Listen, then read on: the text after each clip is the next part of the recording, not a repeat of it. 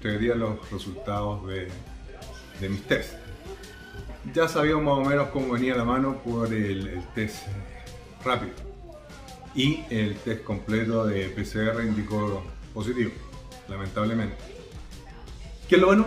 Que tenemos nuestra set de vacunas eh, completa y si bien hemos tenido los típicos malestares de resfrío, dolor de cabeza, garganta, muscular, más que eso no, no ha ocurrido. Eh, y eso nos tiene relativamente tranquilos, estamos completamente aislados de la familia.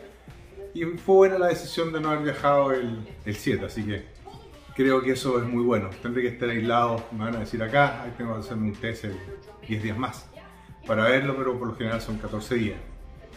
Pero lo bueno es que seguimos creciendo, seguimos muy fuertes en las redes. Yo sé que hay personas que nos van a molestar con esto, pero esta es una pandemia desgraciada que se ha llevado la vida de muchas personas, lamentablemente, y, es parte de, de, la vida, así que hay que entender que eh, vamos a salir más fuerte que nunca.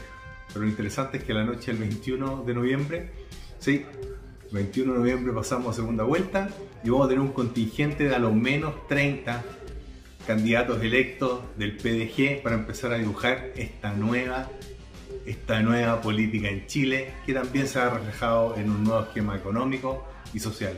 Así que no hay mal que por no venga y vamos a continuar subiendo las encuestas cada vez más firmes y más alto. Así que, y la segunda vuelta, esa, la ganamos con el trabajo de la gente para tener la gente en el poder.